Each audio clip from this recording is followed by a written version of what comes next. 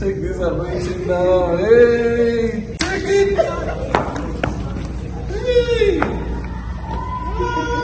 Thank you, brother.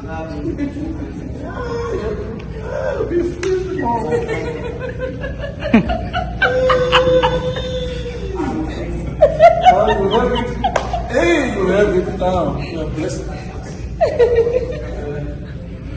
God bless you. Greetings in the name of Jesus. Please tell us uh, your name and where you're from. Um, my name is Christian. Uh, this is my wife, uh, Kiki Shirichana. Uh, we are from Columbus, Ohio. And please tell us why you came to see the, what brought you here to see the man of God. Um, we uh, we felt we needed to see the man of God because of a lot of things that were happening in our lives. Uh, some things we could not understand, um, and uh, that was primarily why we came. And what would you like to share about your experience today? Uh, I, I thank God. Uh, he, man of God asked me why I haven't been doing God's work, and he said uh, it's because of fear. And um, and I told him it's because I've been fought too much.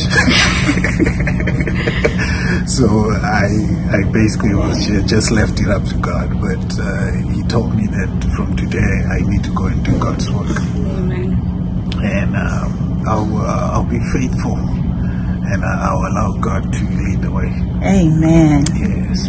And what advice would you give the viewers?